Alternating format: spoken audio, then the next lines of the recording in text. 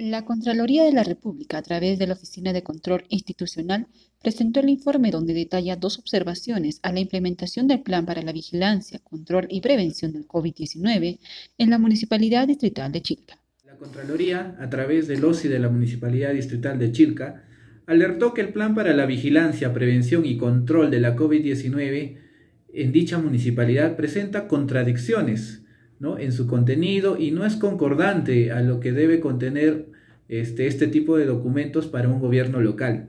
En dicho informe, detalla que su contenido no es concordante al contexto de un gobierno local, poniendo en riesgo la salud de los trabajadores.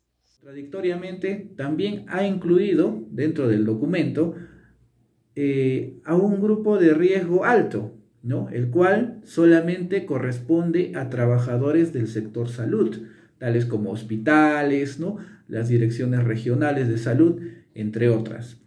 Eh, esto a su vez ¿no?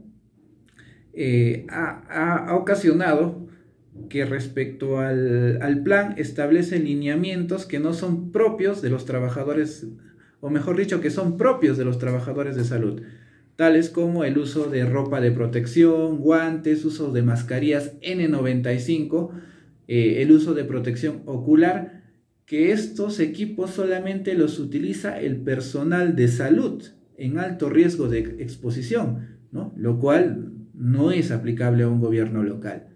Eh, dicha situación genera confusión ¿no? y pone en riesgo la salud de los trabajadores al no tener un marco normativo adecuado que prevenga el contagio del COVID-19 en dicha comuna así como la omisión de registrar el plan para la vigilancia, prevención y control de COVID-19 de la Municipalidad Distrital de Chilca en el portal del Ministerio de Salud, generando el riesgo que se esté utilizando un documento que no cuente con los estándares y protocolos establecidos válidos por el MINSA, poniendo en riesgo también la salud de los trabajadores y usuarios que la municipalidad ha omitido registrar el referido plan en el portal del Ministerio de Salud, ¿no?